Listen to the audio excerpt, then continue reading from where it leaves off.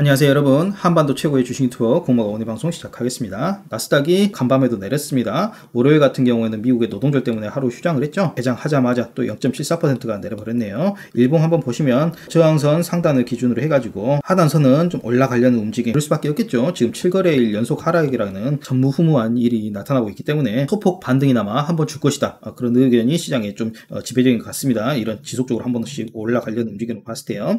연속 7일 지금 내렸는데요. 8월 26일 마이너스 4%를 시작해가지고 7 거래일 동안 마이너스 10% 정도 어, 굉장히 큰 폭의 폭락을 지속적으로 하고 있다. 그렇게 보시면 되겠고요. 어, 코스피에 시사하는 바가 상당히 많을 것이다. disclaimer입니다. 특정 종목에 대한 매수 매도 추천 아닙니다. 참고만 하시기 바라겠고요. 간밤 폭락한 이유는 PMI 서비스업 구매자 관리 지수인데요. 이게 50 이상이면 경기가 확장 중이다. 괜찮다. 뭐 이 정도로 볼 수 있는데 58.9가 나왔습니다. 전달에는 56.7이었거든요. 상당히 많이 상승을 했음을 알 수가 있죠. 2.2포인트 정도 올랐으니까요. 이번 달 consensus consensus는 55.5였는데 무려 3.4포인트가 더 나와버렸습니다. 생각보다 미국 경제가 굉장히 굳건함을 보여주고 있는 사실이죠.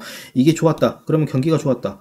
그러면 나스닥은 당연히 상승을 해야 되는데 이것은 또 다른 경로로 해석이 돼버렸습니다. 이렇게 좋은 뉴스도 이제 다른 경로로 계속 나쁘게 해석이 돼버리면 이것은 어, 주식시장이 굉장히 안 좋다는 소리 아니겠습니까? 주식시장이 좋으면 어떤 안 좋은 지표도 또 좋게 해석을 해버리는 그런 마법이 일어나거든요. 지표가 좋았다는 얘기는 연준이 금리를 더 인상해도 이제 시장이 버틸 것. 따라서 0.75% 금리 인상 가능성이 74%까지 올라갔다. 어, 전일에는 57%였거든요. 0.75% 금리 가능성이 금리 인상 한 번 더 충격적으로 0.75% 올려도 충분히 가능하다. 어, 그런 상황으로 해가지고 나스닥이 충격을 한번 받은 것이고요. 국채 수익률, 시장 금리는 상승을 했습니다. 뭐 당연하겠죠. 금리 인상 가능성이 이제 촉발됐기 때문에 전체적인 업종을 보면 마이크로소프트, 애플 모두 한 1% 정도 하락을 했고요. 구글도 마찬가지고 어, 테슬라가 1.56% 소폭 반등한 게 보이네요. 반면 그 전날하고 비교해가지고 어, 상승한 부분이 상당히 많이 눈에 뜨는데요. 어, 헬스케어 부분이 눈에 아무래도 띄네요. 그리고 부동산 부분이 또 눈에 띄고 그리고 에너지 부분은 지금까지 많이 올랐기 때문에 또 소폭 조정되는 모습을 보여주고 있습니다. 그나마 다행인 것은 플러스 되는 종목들이 많아지고 있다. 상당히 희망적으로 볼 수 있겠습니다. 한바도 최고의 주식 유튜버 고모와 함께하는 고모 주식 엔터테크 가운데 구독 좀 눌러주시고 좋아요, 구독, 알람 설정까지 꼭 좀 부탁드리겠습니다. 사랑합니다. 고모신 마사지맨이었습니다.